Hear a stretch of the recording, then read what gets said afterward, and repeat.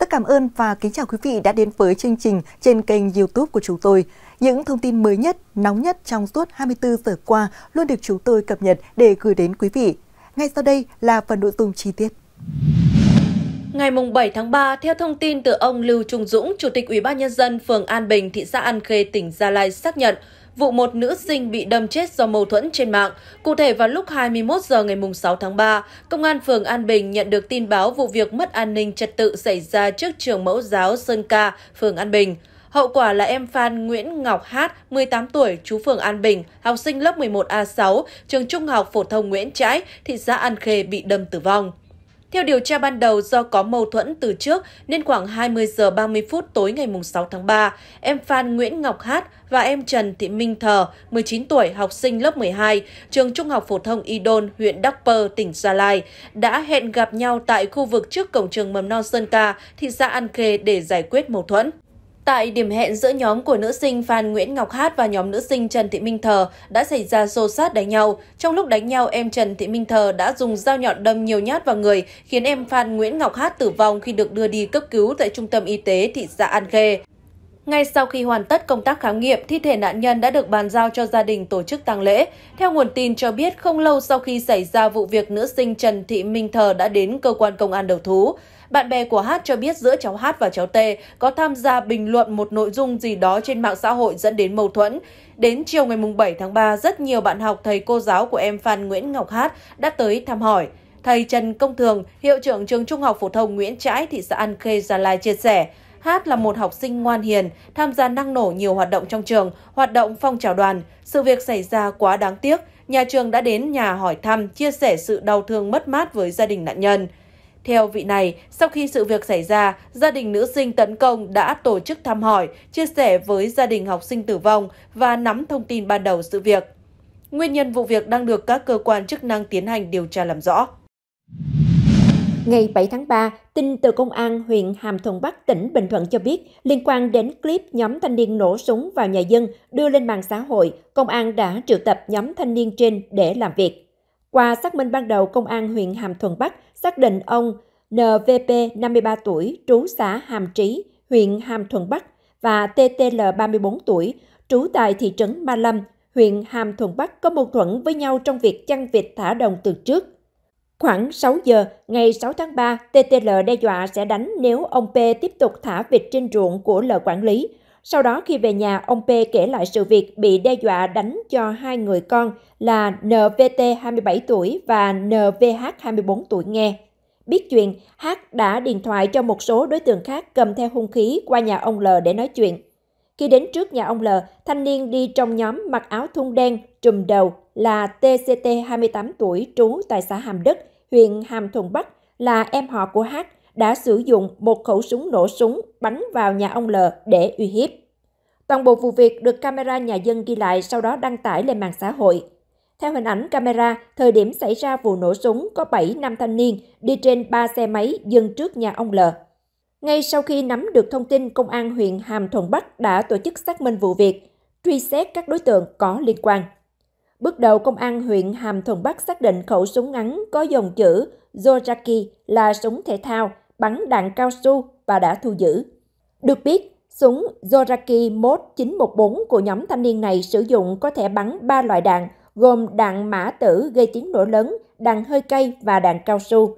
Như thông tin đã đưa, trước đó trên mạng xã hội xuất hiện clip một nhóm thanh niên nổ súng vào nhà người dân vào lúc 10 giờ 58 phút ngày 6 tháng 3 rồi lên xe máy bỏ chạy. Cụ thể, một nhóm khoảng 7 thanh niên đi xe máy mang theo các đồ vật giống dao, kiếm, đến nhà một người dân ở khu vực Ma Lâm ba thị trấn Ma Lâm, huyện Hàm Thuận Bắc.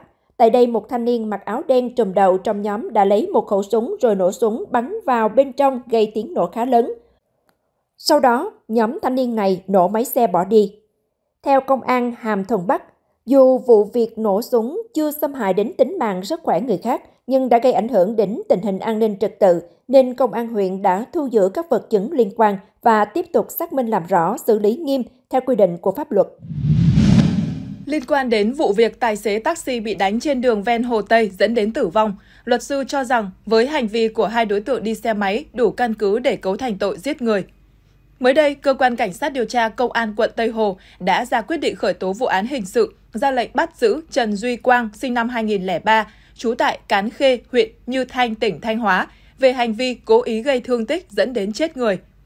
Qua lấy lời khai những người liên quan, công an xác định hồi 16 giờ ngày 4 tháng 3 tại khu vực đường kè Hồ Tây, phường Nhật Tân, quận Tây Hồ, xuất phát từ việc anh LXT, sinh năm 1980, là tài xế taxi trú tại quận Long Biên, Hà Nội, điều khiển xe ô tô taxi va chạm với xe máy do Quang điều khiển chở bạn gái phía sau, làm xe máy của Quang bị loạn trọng.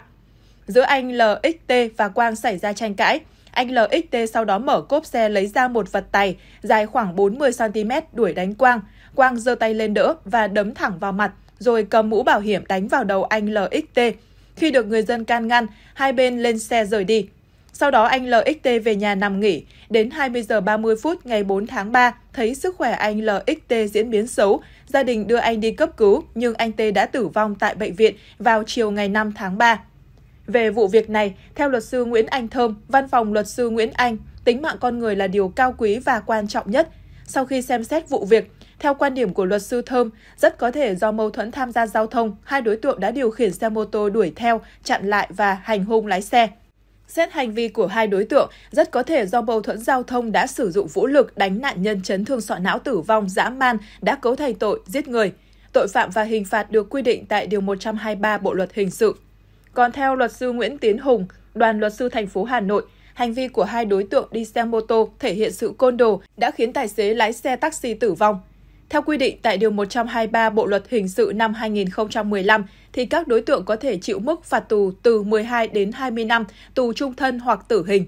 Về trách nhiệm bồi thường của các bên, theo luật sư Hùng, trong sự việc này thì nạn nhân đã tử vong, tính mạng đã bị xâm phạm. Tại Điều 591 Bộ Luật Dân sự năm 2015 quy định về bồi thường thiệt hại khi tính mạng bị xâm phạm. Theo đó có hai loại thiệt hại được bồi thường, đó là thiệt hại về vật chất và thiệt hại về tinh thần. Những thiệt hại vật chất được bồi thường trong trường hợp này bao gồm Thứ nhất, chi phí hợp lý cho việc cứu chữa, bồi dưỡng, chăm sóc người bị thiệt hại trước khi chết.